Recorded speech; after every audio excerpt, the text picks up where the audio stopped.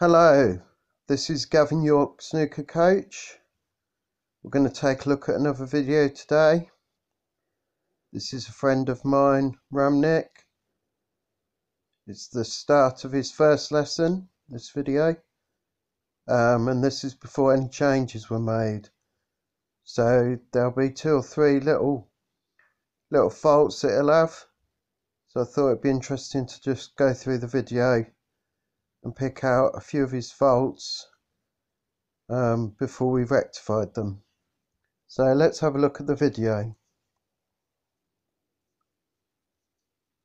So first of all, the first thing I notice, he's been asked to play a topspin shot. So his tip is actually pointing at the top of the cue ball but there's a gap between the tip and the cue ball.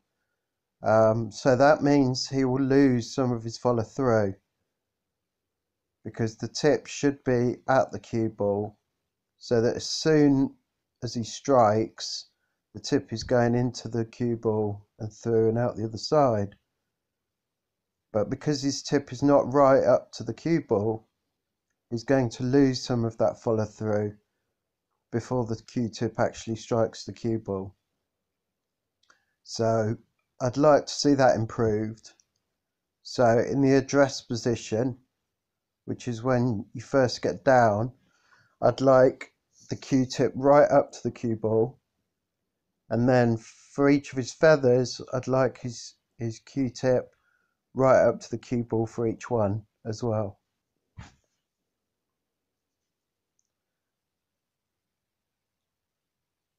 The second thing I'd like to see is his chin is quite a bit off the cue.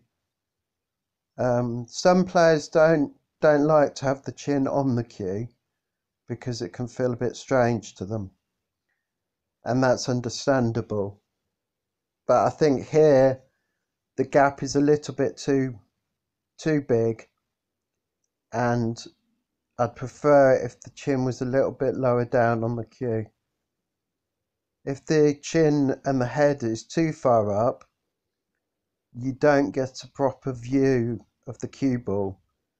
So that when you're picking your spin and looking to see where the cue tip is actually going to hit the cue ball, you will get a different view if your head is too far up off the cue and you won't be able to play the spin that you want.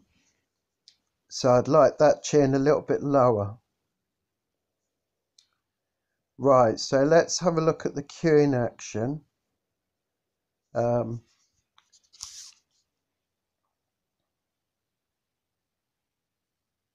you can play the top spin. So we've just gone through with the sharp. And like I say, I asked him to play top spin. But here at the end of the shot, you can see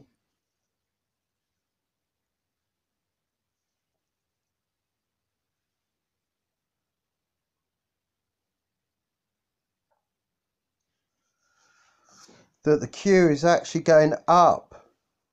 The cue butt is actually lower than the cue tip.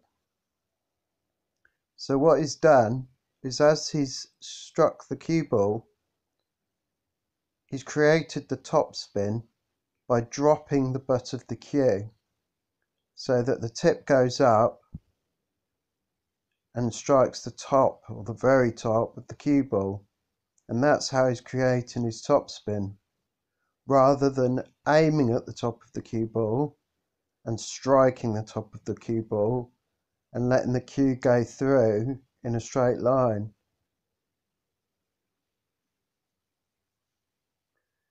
The problem with dropping the grip like he has, so this is dropped, is that it's very inconsistent. If you drop too early, the tip will rise and you might miss cue over the top of the cue ball. If you drop it too late, the cue tip won't won't rise enough and you won't actually create enough topspin. So it's a very it's a very difficult way of creating the topspin. Um, although it is quite common, especially with beginners, they tend to drop the cue butt um, and sort of flick up at the cue ball to create the topspin.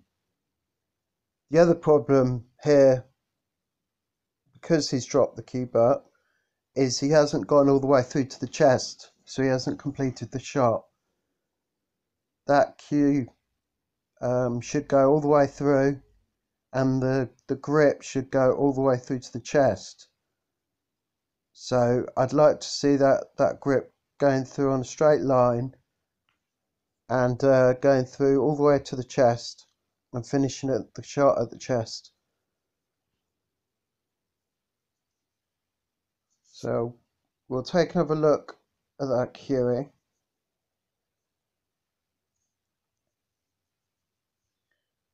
So let's have a look at that last strike.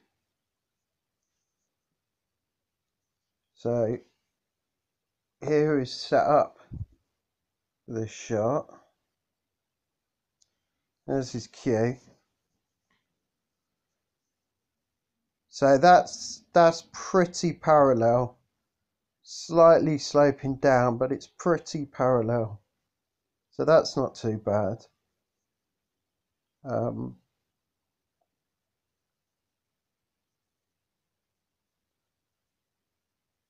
however, as you can see, as he's pulling the cue back each time,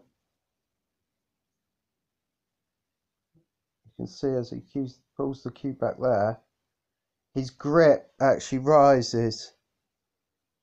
And that's because his grip is too tight and his elbow is acting like a pendulum.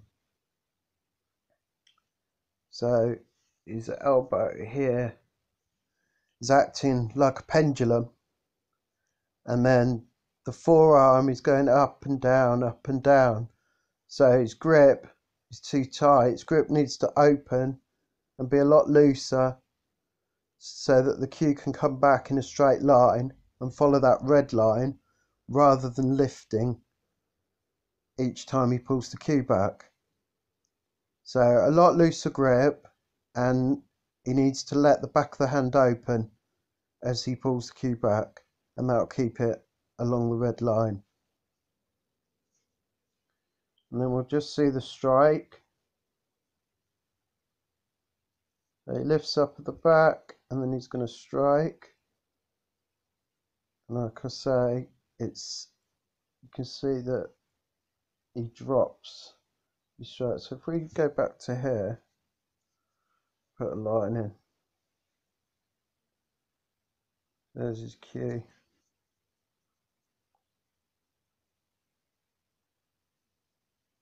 You can see his, his lift in there. There you can see the lift. And then he strikes. And now you can see the, the cue and the grip are now below the line.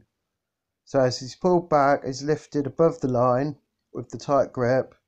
And as he struck the cue ball, he's dropped the bat to try and create the top spin. So what he needs to do is follow that plane of that cue as he goes back and forwards, back and forwards. And that should enable him to hit the cue ball in the right place. And he should be much more consistent and it will help him to, to finish with his grip at his chest rather than going under the table.